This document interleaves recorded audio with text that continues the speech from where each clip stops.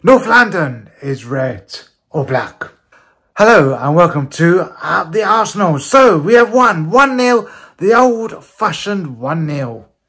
And that is good enough with the squad that we had today. I mean, the bench was a bit shocking, but we got through it and we won. That is now three wins in a row against Tottenham. Three wins at their ground. And yeah, starting to like Big Ange. Hey, yeah. Tottenham fans want him out. No, we don't. Yeah, keep it Big Ange. Three wins in a row. Absolutely brilliant stuff. Gabriel, the defender Gabriel with the goal. And it was a great goal. Terms of our points of the match, Martinelli was a bit bad today, a little bit selfish in places. He tried to shoot and he didn't miss.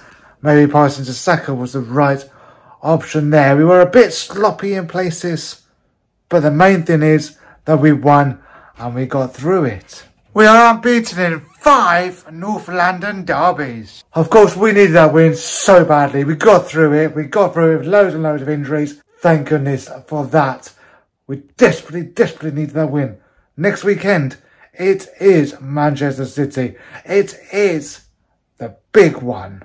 And we have to get something out of that game. Obviously, before that in the week, we have got the Champions League game. But for now, North London is red.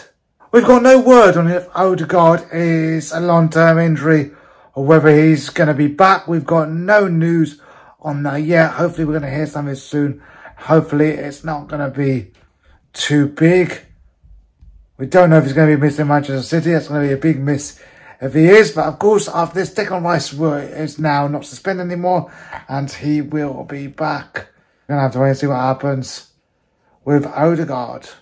Let's hope that we can continue this. And we move on to Champions League Thursday. Why is it Thursday? It's so stupid. It's so not right. It's so unfair. Well, we've got a big game on Sunday. Yeah, as usual. We get the brunt of it.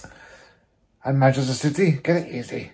But yeah, Manchester City faces Arsenal next weekend. Yes, we're away again. Three games in a row. We are away. That was the first of them.